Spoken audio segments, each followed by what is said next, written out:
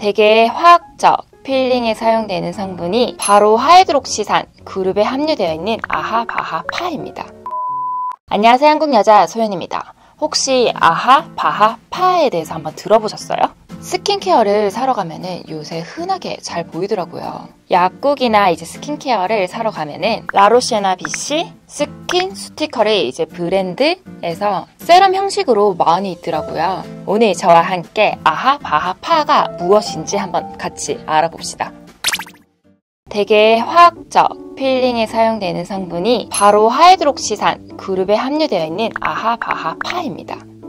필링은 말 그대로 피부를 얇게 벗겨내는 방법이에요. 흔히 이제 물리적인 필링과 화학적인 필링으로 나뉘어요.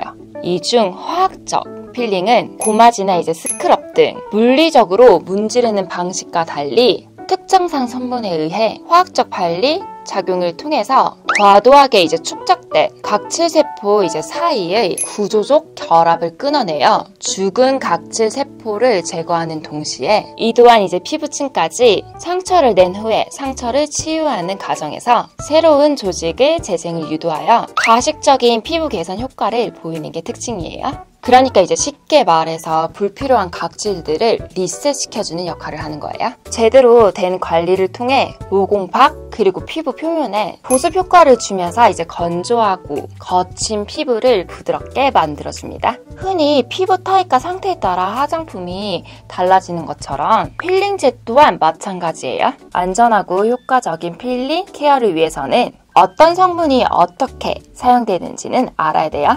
지용성이나 이제 입자가 작을수록 피부 속 침투력은 증가를 하고 그에 따라 강도가 높아질 수 있는 건데 우열을 가릴 수는 없어요. 서로 간의 비교를 통해 본인의 피부 타입과 그리고 현재 피부 컨디션, 나아가 원하는 피부 개선, 목적에 이제 부합하는 필링제를 선택하는 게 제일 중요해요. 건조하고 이제 두꺼운 피부, 표면의 각질과 주름 관리를 원하신다면은 AHA 알파 하이드록시산 스킨케어에 이제 주로 쓰이는 성분으로는 글리코산, 락틱산, 만델릭산, 시트릭산 등이 있어요. 그 중에 우유, 특히 상한 우유에 다량 함유되어 있는 성분 중 하나가 라틱입니다.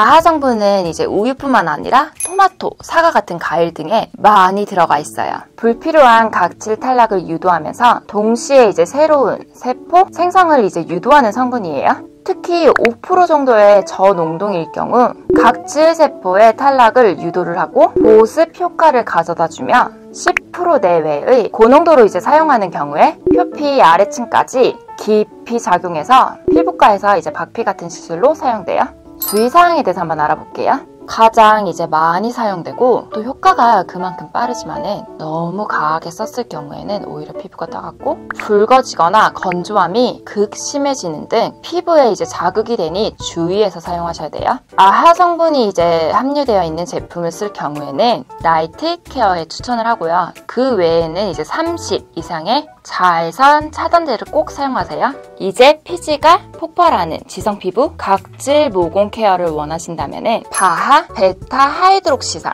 여드름성이나 이제 지성 피부 약간 oily진 피부들이 사용하는 이제 화장품에서 많이 보셨을 거예요. 이 BHA 성분은 기름에 녹는 지용성 성분으로 살리실산의 한 종류입니다. 지용성으로 이제 모공에 침투하여서 피지를 이제 관리하는 기능이 있어요. 피지가 많은 피부한테도 도움이 됩니다. 또한 여드름 피부를 관리하는 좋은 성분이에요. 가벼운 항염, 항균 효과도 있습니다. AHA와 달리 지용성 성분으로 표피 지질의 장벽에 자연스럽게 스며들어 피부 깊숙이 모공 사이로 쉽고 빠르게 침투해서 뒤엉켜 있는 피지와 노폐물을 제거를 해줍니다. 여드름 home care용으로는 0.5%에서 2% 이내에서만 사용해야 하고 이외 전문적인 필링 시에는 10%에서 20%의 내외의 농도로 조절하여 사용하는 것이 일반적이에요.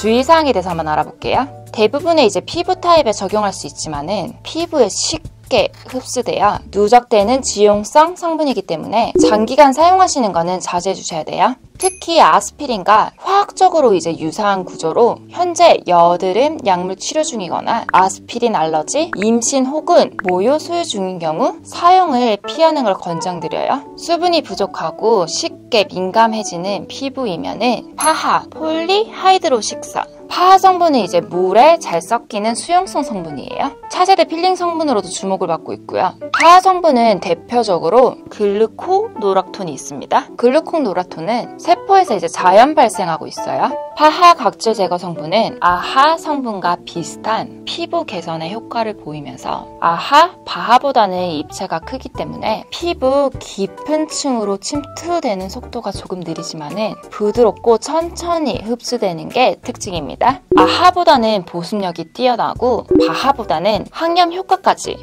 그래서 이제 쉽게 예민해지는 민감성 피부라든지 아니면 홍조 피부를 가지고 있으신 분들 그런 피부들이 이제 사용하면 좋은 성분이고요. 모공, 주름, 색소 등 전반적인 이제 피부 개선에 탁월한 효과를 줘요. AHA는 건조하고 두꺼운 피부의 표면의 각질 제거에 효과적이고 BHA는 유분이 이제 많은 지성 피부의 각질 제거 및 블랙헤드에 효과적이에요. 여드름 피부에 추천합니다. PHA, 수분이 이제 부족한 복합성 피부, 홍조 피부, 뭐 민감한 피부, 모든 피부 타입의 각질 정돈에 효과적이지만은 특히 이제 피부에 자극을 잘 느끼는 예민한 피부에 추천을 해요. 개인에 따라 조금씩 차이가 있기 때문에 꾸준히 사용하며 경과를 지켜보세요. 각질은 이제 14일에 걸쳐서 생성되면 다시 14일에 걸쳐서 떨어져 나가요. 이것을 피부 턴오버 주기라고 합니다. 그런데 이제 탈락되어야 될 각질들이 떨어지지 않고 남아있게 된다면 피부 턴오버 주기가 늘어나게 되면 잔주름이 발생할 수도 있고 모공을 막기 때문에 트러블이나 여드름이 생길 수가 있어요.